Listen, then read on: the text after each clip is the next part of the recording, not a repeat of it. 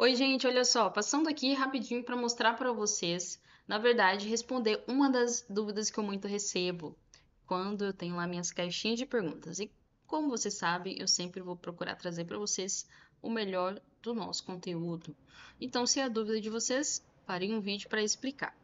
Como que eu faço para posicionar os suportes, tá? No caso aqui para uma prótese total. Então, eu estou aqui no software Sheetbox, eu vou trazer aqui para rotacionar e aqui eu vou fazer a rotação, tá? Aqui no Y ou aqui pela ferramentinha aqui da gente posicionar, tá? Eu vou fazer a rotação da minha base. Lembrando, gente, que se eu tenho um trabalho definitivo, eu não posso colocar o suporte na parte interna da prótese.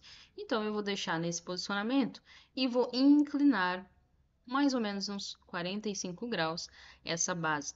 Essa forma aqui é a que eu mais gosto de trabalhar com a PT impressa, tá? Por quê? Eu vou trabalhar agora com o suporte aqui, ó. Vim aqui para o canto superior direito. Eu tenho opção de suporte. Gente, aqui tá para vocês, ó. Tô mostrando a minha configuração de suporte quando eu uso o Shitobox. Então, na minha configuração de suporte, eu vou deixar em densidade de mais ou menos 60% a 70% no máximo e vou aplicar, gente, para o software é, acrescentar o suporte de forma automática, tá?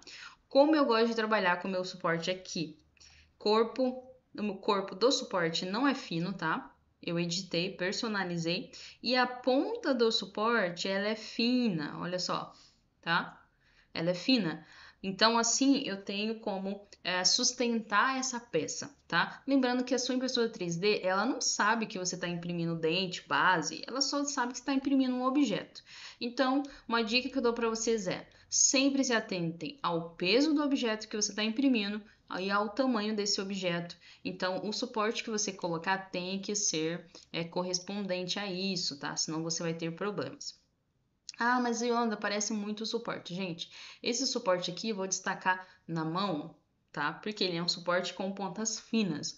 O suporte, quando eu destacar na mão, ele vai sair por inteiro e vai preservar o formato da base aqui a ser impressa, tá? Último detalhe é fazer a conferência. Quando nós utilizamos aqui essa barrinha, ó, que a gente vai fazer reproduzir aqui exatamente como que vai ser começado a impressão, como que vai ser iniciado, né, a construção das camadas de impressão. Então aqui eu vou conferir, gente, uma dica aí para vocês, ó, vai conferindo se essas camadas a serem impressas, ó, elas estão bem suportadas com o suporte foi colocado automático. Então, às vezes eu preciso sim, tá? Prestar atenção nessas primeiras camadas e às vezes não tem um suporte legal, eu venho acrescentando suporte, tá? Onde eu achar relevante nas primeiras camadas se eu ver que elas não estão bem suportadas, tá bom?